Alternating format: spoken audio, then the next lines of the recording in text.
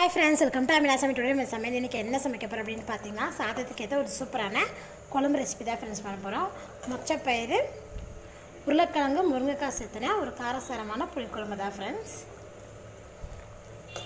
இந்த குழம்பு மட்டும் இருந்தால் போதும்.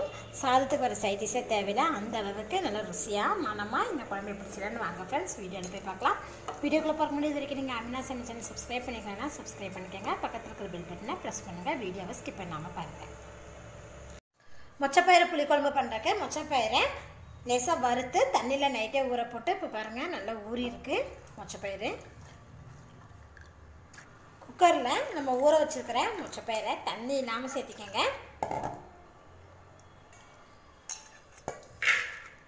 வறுத்து போட்டுக்கிட்டிங்கன்னா உங்களுக்கு வந்து அந்த மொச்சப்பயிரோட பச்சை வாசம் இருக்காது.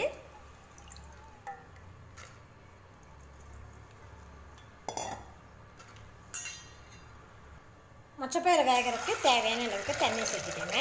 சேர்த்துட்டு இது கூட கொஞ்சமாக உப்பு ஆட் பண்ணிக்கலாம். உப்பு சேர்த்துட்டு நல்லா கலந்து விட்டுட்டு ஹை ஃப்ளேம்லேயே நாலு விசில் குக் பண்ணி எடுத்துக்கலாம். நாலு விசில் பார்த்திங்கன்னா நல்லா குக் பண்ணி எடுத்துட்டேன். மொச்சப்பயிர் பார்த்திங்கன்னா நல்லா சூப்பராக குக் ஆகிருக்கு பாருங்கள் குழம்பு வைக்கிறதுக்கு நல்லா அதிகமான ஒரு கடாயை எடுத்துருக்கேன். கடாய் சூடானமே இதில் தேவையான அளவுக்கு எண்ணெய் சேர்த்துக்கலாம்.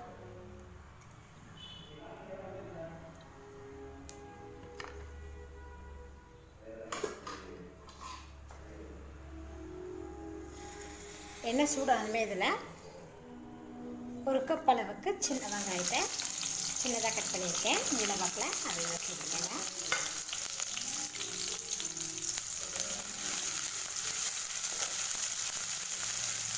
வெங்காயம் பார்த்தீங்கன்னா லேசாக கோல்டன் ப்ரௌன் கலர் அளவுக்கு வரணும். அந்த அளவுக்கு வெங்காயத்தை வதக்கிக்கலாம்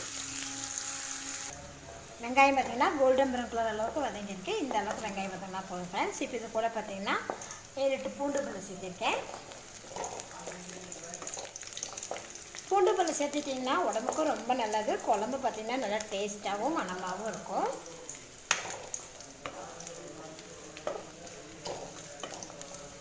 பூண்டு லெஸ்ஸாக வதங்கினதுமே இது கூட பச்சை மிளகா ஒன்று சேர்த்துக்கோங்க. நான் பார்த்தீங்கன்னா பச்சை மிளகா முழுசாக தான் சேர்த்துருக்கேன். பெருசாக இருக்கங்காட்டி ஒன்று சேர்த்துருக்கேன் சின்னதாக இருந்தால் ரெண்டு சேர்த்துக்கோங்க பச்சை மிளகா பூண்டு வதங்கினதுக்கப்புறம் இது கூட ரெண்டு தக்காளி பற்றி வச்சுக்கலாம் தக்காளி நல்லா சுண்டி வர அளவுக்கு நல்லா வதக்கி விட்டுக்கலாம்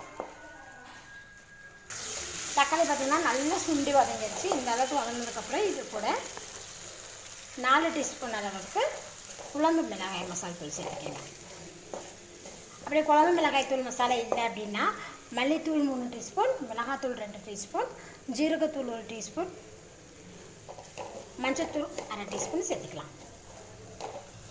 மசாலா பொடிகளை பார்த்திங்கன்னா லோ ஃப்ளேம்லேயே வச்சு வதக்கினதுக்கப்புறம் இது கூட நம்ம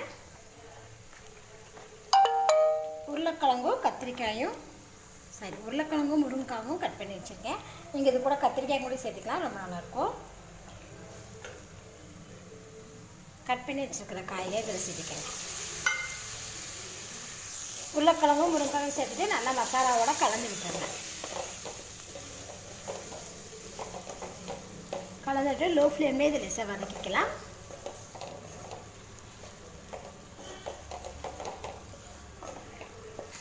லோ ஃப்ளேம்லேயே வெஜிடபிள்ஸை பார்த்திங்கன்னா மசாலாவில் வதக்கிட்டேன் இப்போ இது கூட பார்த்திங்கன்னா புளிக்கரசம் குழம்புக்கு தேவையான அளவுக்கு புளிக்கரசம் சேர்த்துக்கலாம்.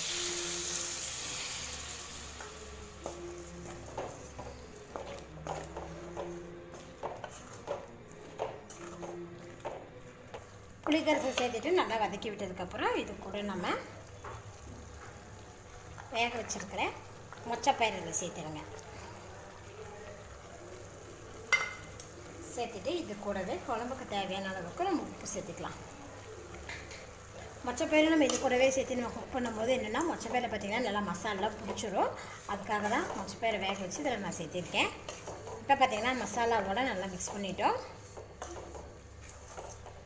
குழம்புக்கு தேவையான அளவுக்கு தண்ணியாக ஆட் பண்ணிக்கலாம். தண்ணியை சேர்த்துட்டு பத்து நிமிஷம் ஹை ஃப்ளேம்லேயே நம்ம குக் பண்ணிக்கலாம்.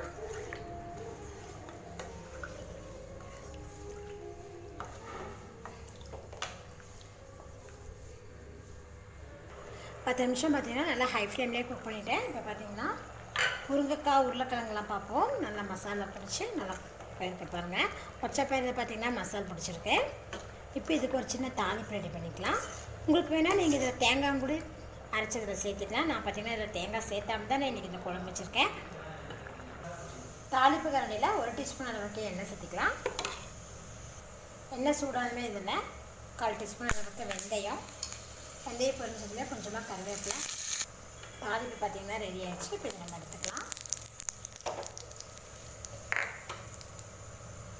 நம்ம தாளிப்பை குழம்புல ஆட் பண்ணிக்கலாம்